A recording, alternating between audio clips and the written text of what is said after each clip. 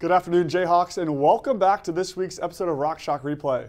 I'm your host, Andrew Lind. Well, after two weeks being off the air, there has been a lot of important news surrounding KU athletics and the sports world in general.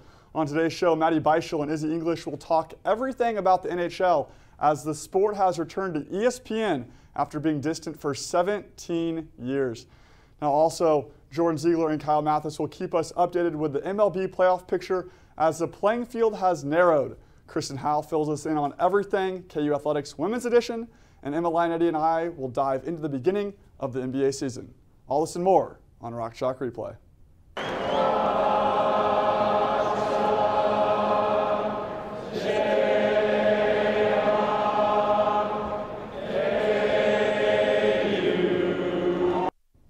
This afternoon, our show starts right here.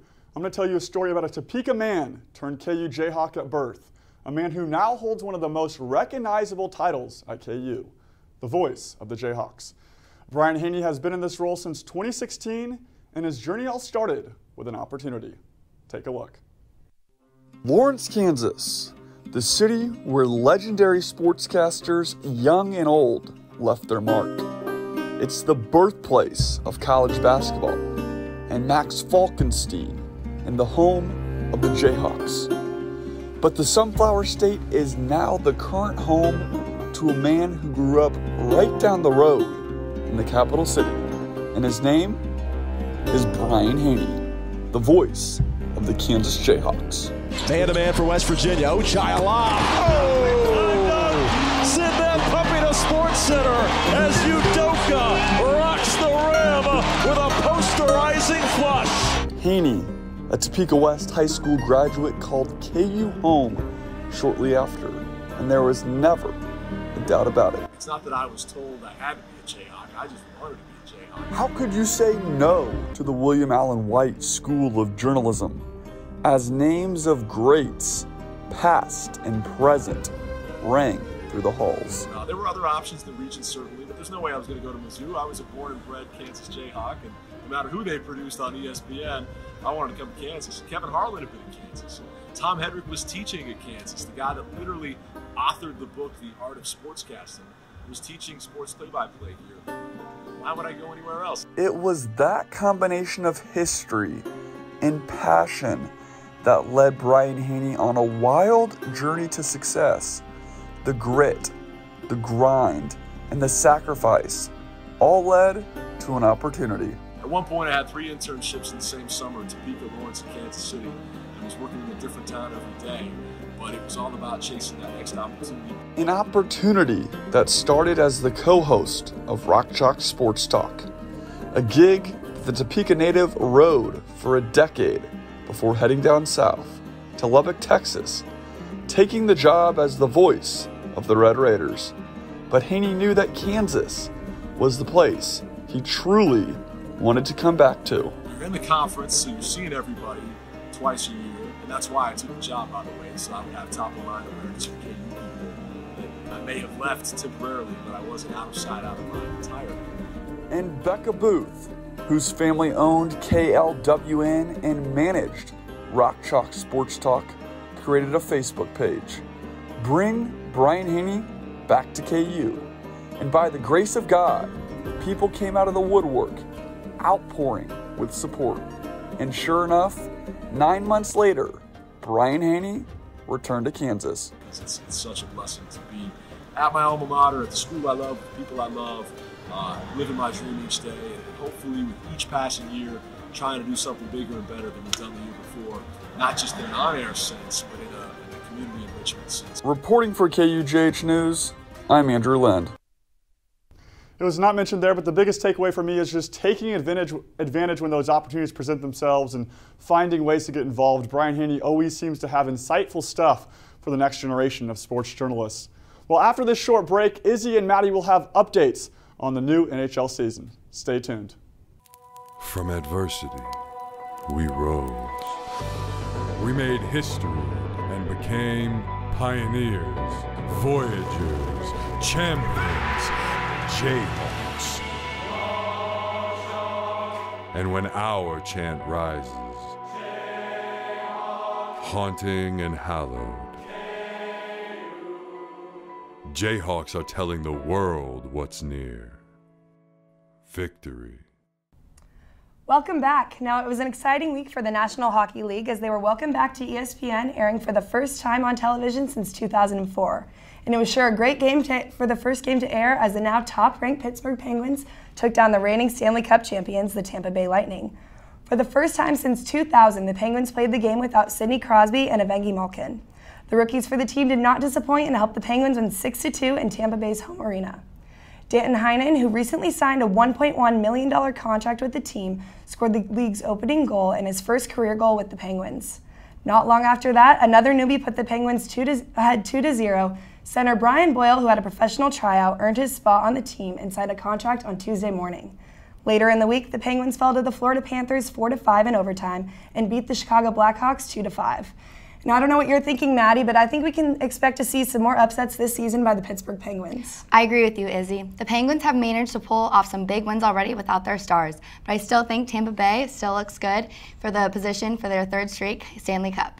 Another high-intensity game was that electric was electric to watch was the brand new Seattle Kraken versus the Vegas Golden Knights. The Kraken is a brand new franchise that was founded in 2018, and they finally played their first game in history last Tuesday. The opening ceremony featured both of the team's mascots facing off. A real Golden Knight was battling a light show Kraken, and it sure had that Las Vegas flair. Vegas got on the scoreboard pretty early in the first, first period, and that game was very back and forth until the last few minutes of the third period, where the Krakens found themselves tied to the Golden Knights 3 3. 30 seconds after the teams were tied, the puck deflected off Vegas' forward Chandler Stephenson's skate. It slid past Seattle's goaltender Philip Grubauer to put Vegas up 3 to, 4 to 3. Seattle's fans were not very happy about that controversial call. For those who are unaware, the player must use his skate to direct the puck or deflect the puck into the net, but he cannot allow not it's not allowed to kick the puck into the net to score. Although the Kraken had a tough loss for their first game, they ended the week with a tie and a win, leaving them with a 1 in 1 record. The Golden Knights were defeated later on in the week, leaving their Saints to be 1 and 1. Yeah, and on a positive note, the Buffalo Sabres kicked off their season with two wins against the Arizona Coyotes and the Montreal Canadiens. And this is a huge turnaround for them as they lost 18 consecutive games last season. So let's hope they can keep this streak moving forward. Yeah, and on a not so positive note, let's talk about Colorado Avalanche and their dramatic start. Their star player, Nathan MacKinnon, tested positive for COVID 19 and has to follow protocol, causing him to miss a few games. Another Avs issue is their captain, Gabriel Landeskog, is on a two game suspension for illegally boarding Blackhawks forward Kirby Dach in the first game of the season. And overall, I think this NHL season will be one for the books, and I'm looking forward to get back to regular season play as last year the Canadian teams could not cross over to the U.S. border, so they had to improvise and create temporary divisions for the season. Yeah, Izzy, and not to mention the new pregame, intermission, and postgame segment TNT will be hosting. It will be a similar feel to the NBA segment hosted by Shaquille O'Neal and his crew.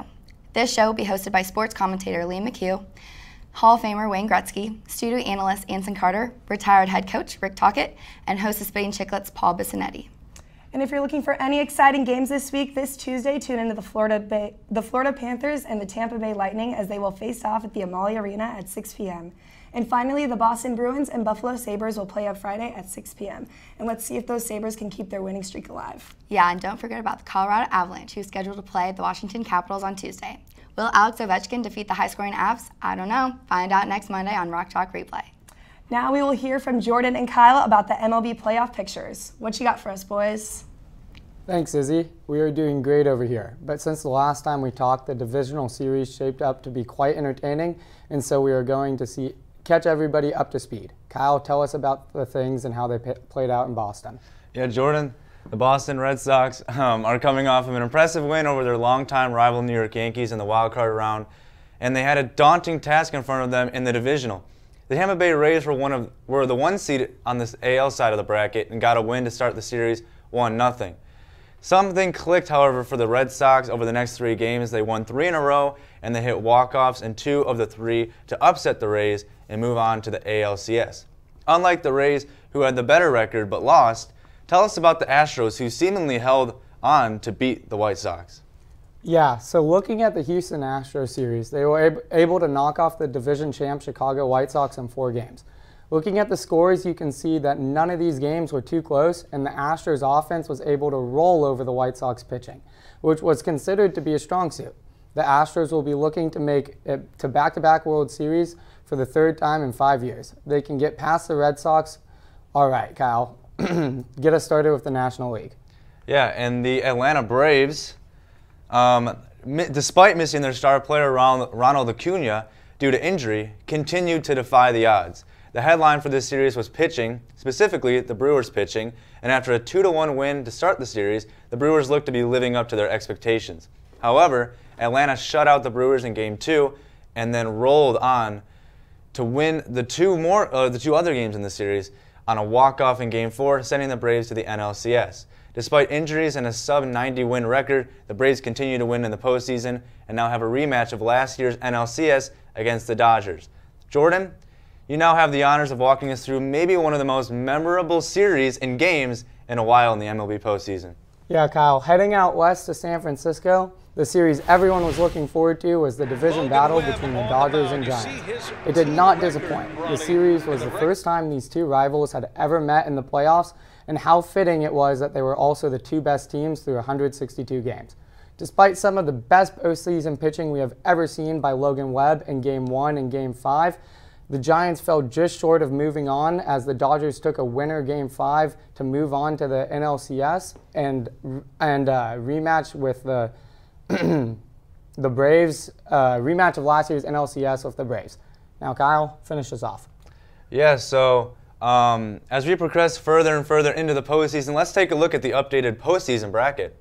The Red Sox are playing the Houston Astros in the ALCS. We're already two games into that series, and the series is tied at one heading into Game 3 at Fenway, actually tonight. Um, in the NLCS, however, the Dodgers and the Braves are playing in a rematch of last year's series where the Dodgers won in seven games. This series is going to be played at the two teams' home stadium when it was only played in Texas last year, and the Braves have home field advantage this year. So far, the Braves have won back to back games on a walk off RBI single to take a two game to zero series lead, heading into Game 3 at Dodger Stadium tomorrow afternoon. We will see who makes it to the World Series this year as we progress further into the postseason each and every day. After the commercial break, Kristen will be back with everything you need to know about women's sports here in Lawrence. For students searching for a way to stay active in an outdoorsy way, the City of Lawrence has bike trails running in every direction, and with the new Bike Share program, we can stay in shape as we tour the sights of our beautiful city. Clinton Lake is only a short 30 minute bike ride away from Daisy Hill and has the most incredible sunset location in all of Lawrence. Walking campus may give you the KU calves, but biking can give you the KU thighs. Bike Lawrence today. Welcome back. It's been two weeks since we last checked in on our women Jayhawk athletics, so let's get started. This tennis team had great success last weekend at the Red and Blue Challenge at SMU. The doubles team of Julia Deming and Maria Titova went on to win the entire tournament, beating the host team of SMU 6 4 in the finals. Their next matches will be at the ITA Regional Championship this weekend. KU's women's cross country ran at the competitive pre national invitational this past weekend in Florida, finishing in 26th place. This was their last race before competing in the Big 12 Championship in two weeks. Kansas volleyball played Texas last weekend at home. The Jayhawks went into a five set match in their first game before falling to the Longhorns. They then went 0 3 to the Longhorns for their second game. Kansas then traveled down to Waco, Texas to compete against the Baylor Bears. In both games, the Jayhawks fought hard but lost 3 1. Their next game will be against the Oklahoma Sooners next weekend. Last weekend, KU soccer beat number 9 West Virginia 2 1. This was the first time in program history that the Jayhawks beat two ranked teams in a single week. Their next game was on Thursday against Oklahoma. The Jayhawks fell to the Sooners 3 2 with the late goal made by the Sooners in the second half. The soccer team is currently taking a small break before returning to play Friday in Lubbock against Texas Tech. Now, I toss it to Emma and Andrew who preview the NBA season, which kickoffs tomorrow night. Guys? Kirsten, that's right. The NBA season is officially kicks off tomorrow. How do you feel about that, Andrew? Yeah, you know, Emma, it feels like just yesterday that the Bucks were hosting the Larry O'Brien Trophy for the first time in 50 years, but I can't complain. I love basketball, NBA, college basketball just around the corner, so we're going to be spoiled with basketball for a while.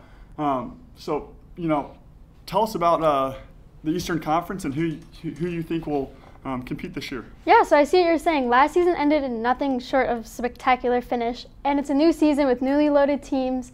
So let's get right into it. Today we're going to stick with the top three teams in each, each conference. I'll start with the first. So starting in the East, I really like Atlanta Hawks coming in at number three. Trae Young made some great improvements and had great success in last year's postseason.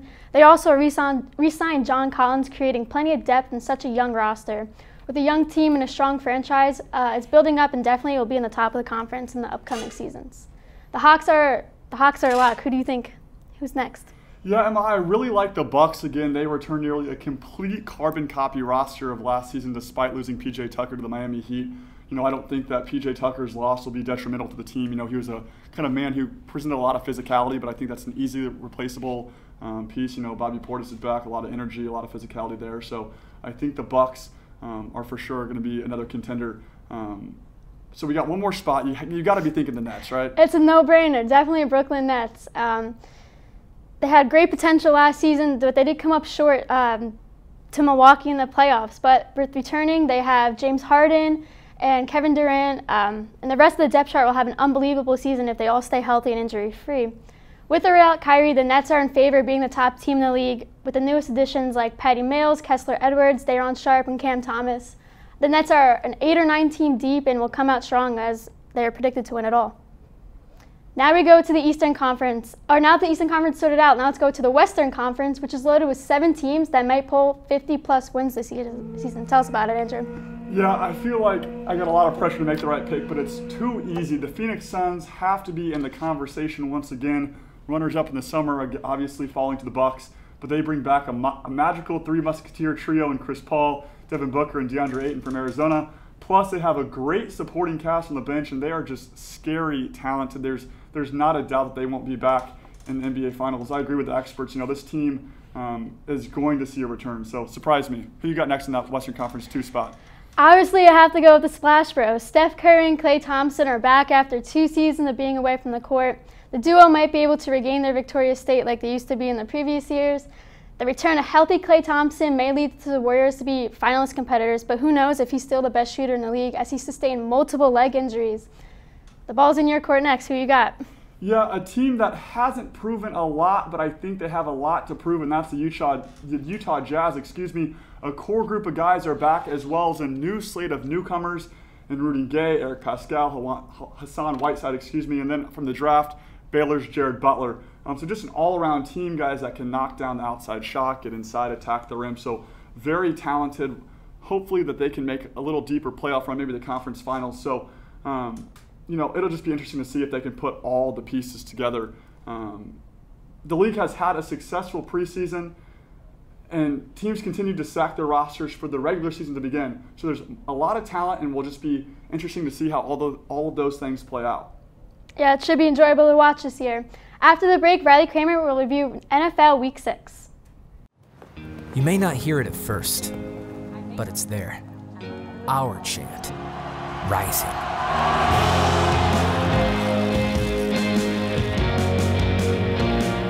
This summit, callings converge, voices unify into a chorus that sounds out for good, for greatness. Can you hear it? Week six of the NFL started off with a great matchup between the Buccaneers and the Eagles, as Tom Brady and the Bucs were able to take away the win away from home. Sunday's matchups were highly anticipated as a few teams were able to give us a glimpse into the conference rankings. The Baltimore Ravens and Los Angeles Chargers, both ranked at the top of the AFC North and AFC West, faced off at noon, with the Ravens defense continually shutting down Justin Herbert after having a rather average season so far. The Ravens quarterback Lamar Jackson and his offense were able to run the ball against the Chargers defense, which they weren't equipped to keep up with.